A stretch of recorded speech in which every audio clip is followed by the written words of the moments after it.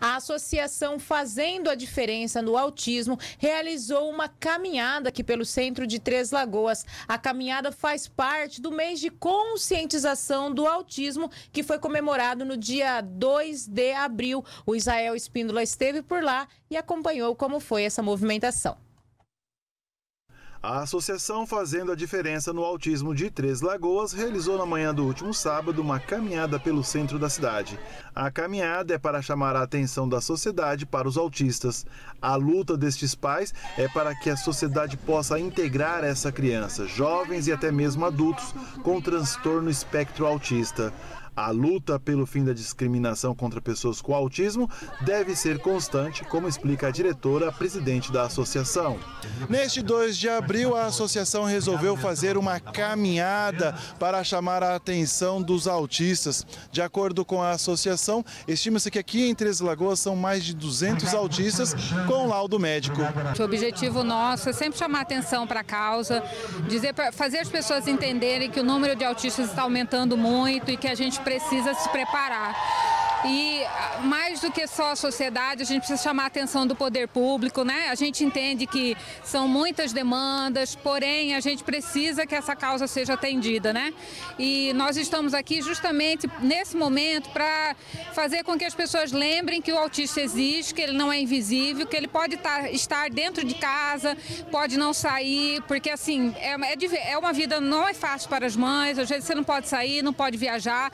Muitas mães não puderam estar estar aqui porque não é possível com seus filhos.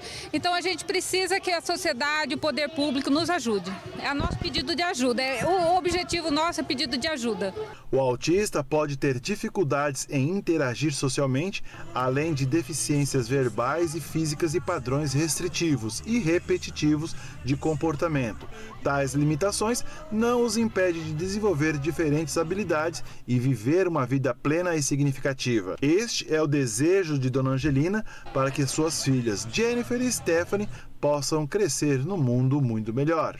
Seria um mundo que aceitasse elas, né? Aceita só que chegasse até, como é que eu posso dizer, não precisar desse, da gente fazer essa manifestação, fazer essa coisa toda para conseguir alguma coisa, né? Porque autismo é todo dia, não é? Não tem uma data específica, entendeu?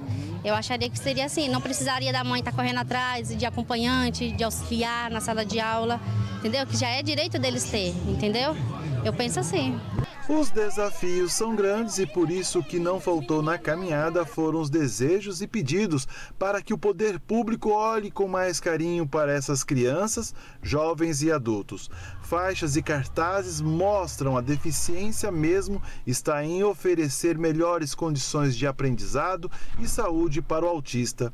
Desafios que os pais precisam lutar diariamente principalmente contra o preconceito. Primeiramente, é, eliminando todo o preconceito com relação ao autista, né?